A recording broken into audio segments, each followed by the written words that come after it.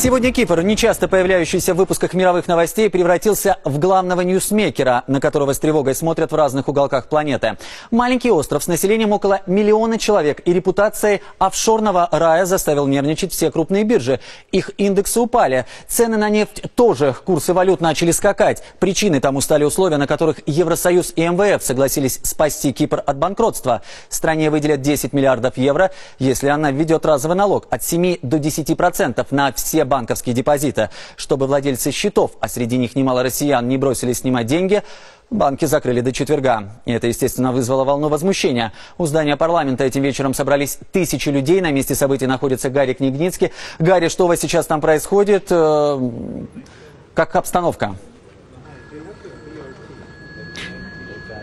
Александр, сейчас обстановка более-менее спокойная. Сегодня в Никосии, в столице Кипра, прошли сразу три митинга. Первый здесь, у здания парламента страны. Второй у посольства Германии на Кипре. И третий у президентского дворца. Собственно, от немецкого посольства демонстранты двинулись э, к резиденции президента. Они несли флаги и плакаты с требованиями, главное из которых э, сводилось к тому, что протестующие требуют проведения референдума. Их не устраивает, что президент страны, э, как они сами утверждают, утверждают, фактически беспрекословно принял условия Евросоюза, не попытавшись выдвинуть каких-то встречных условий, не попытавшись вступить в полноценные переговоры. Что было особенно интересно, а некоторые протестующие а, повесили на решетку ворот э, президентской резиденции э, российский флаг.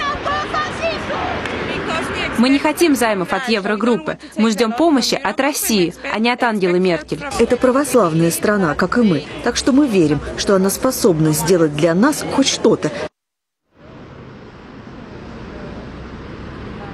Не все столь же спокойно выражали свои эмоции. Например, была группа молодых людей, а, их лица были наполовину прикрыты шарфами, они буквально кидались на решетку президентской резиденции, но полиция спокойно наблюдала за происходящим и а, предпочитала не вмешиваться. Гарри, ну сегодня появлялась информация, что владельцы солидных счетов, в том числе и россияне, сегодня слетаются на Кипр. Что-нибудь вам известно об этом? Да, вы знаете, Александр, это самый популярный вопрос, который мне сегодня задавали на протестных акциях и на улицах.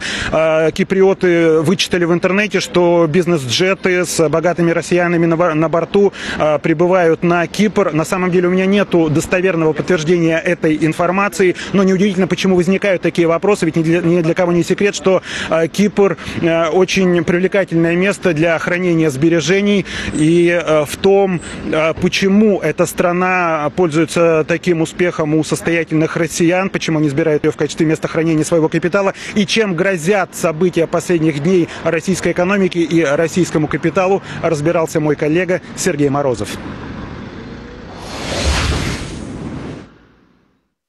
У меня есть 1200 в, Ну вот, вот, собственно, как это может отразиться на вас, как на вкладчике? Ну, я думаю, что мы переживем потерю, потерю 10 тысяч долларов. Миллиардер Александр Лебедев говорит, что он, пожалуй, единственный россиянин, открыто признающий, что потерял на Кипре деньги. Но он знает, что многие потеряли там гораздо больше и молчат. Может быть, там человек 10 из списка Форбса попадут на какие-то существенные суммы денег. Есть люди, которые в последние несколько лет очень сильно, как они говорят, обкэшились. То есть вышли в кэши и что-то держали на Кипре. Я слышал об этом. Если изъятие вкладов проводится под видом борьбы с грязными деньгами, то почему Евросоюз остановился на Кипре? Кстати говоря, грязных денег тут почти не поймают. Эти деньги транзитом уходили. Например, все наши преднамеренно обанкроченные банки или разворованные. Недавно Игнатьев это признал. Он сказал, что подавляющее большинство банков-банкротов а, преднамеренно обанкрочены, а тут выведены деньги. Деньги транзитом проходили через Кипр, и жулики, к сожалению, или чиновники, коррупционеры там особенно с деньгами не задерживались. Логика Европы была примерно такая. Доставать деньги из своего кармана, чтобы спасти счета русских олигархов? Ну нет. Москва, недавно давшая Кипру в кредит 2,5 миллиарда, несколько удивлена тем, как ей снова залезают в карман, да еще присылают в среду министра договариваться об отсрочке долга, потому что его выплачивать тоже нечем. Такое решение в случае его принятия будет несправедливым, непрофессиональным и опасным.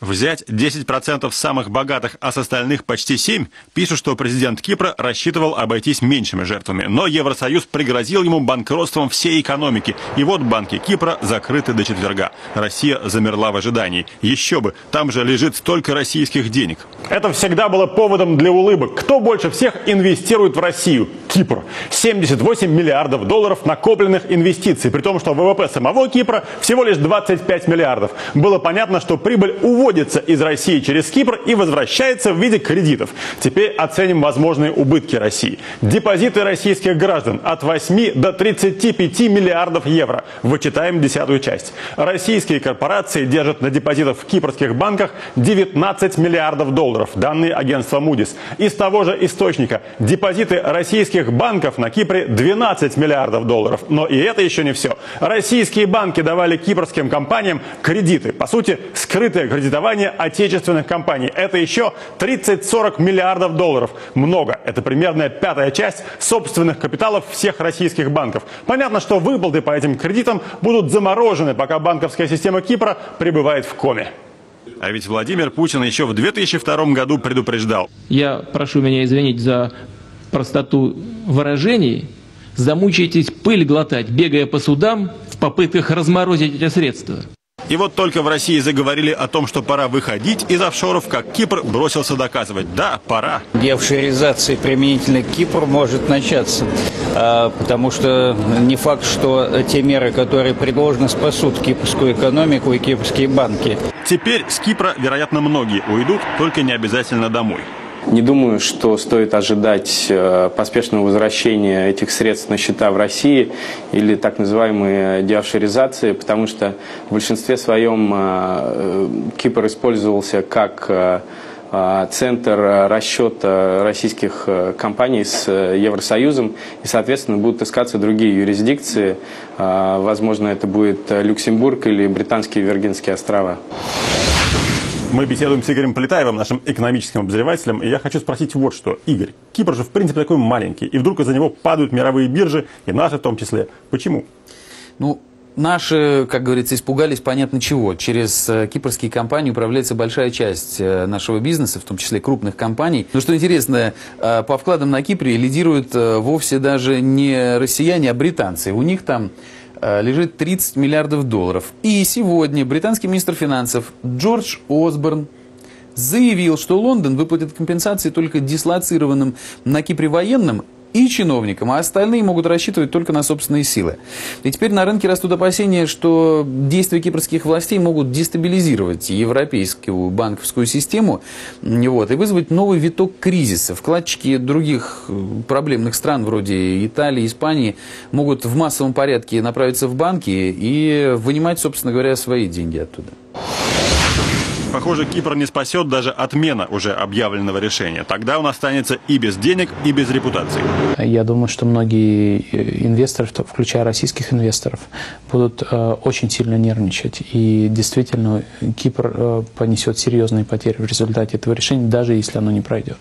Из-за каких-то 7 миллиардов долларов Европа погубит веру в банковскую систему по всему миру. Такой мрачный прогноз делает миллиардер Михаил Прохоров. В условиях современной Европы это первый раз, когда за счет вкладчиков были решены вопросы управления государственными финансами и рекапитализации банковской системы. Это позволит, на мой взгляд, спровоцировать систему недоверия. Не забывайте, что на доверии строится современная банковская система. И бегство мирового капитала из одной страны в другую определяется в основном доверием и стабильностью финансовых систем тех стран, где капитал обслуживается. Скорее всего, вслед за россиянами и британцами деньги из банков Кипра выведут и сами киприоты. Как после этого будет существовать экономика острова – большая загадка. Боюсь, что после того, как они это решение внедрят э, в жизнь, э, намного станет э, хуже с экономикой Кипра, потому что, конечно, не только россияне, но и киприоты перестанут верить банкам. Для них открыты все двери, следовательно, для их денег все двери открыты. Как будет дальше жить э, кипрское правительство, я не знаю. Вывод прост. Если много лет тратить непосредством, то в конце концов остается выбирать между разорением быстрым и разорением медленным. Правительство Кипра пока выбирает второе. Сергей Морозов, Игорь Полетаев, Екатерина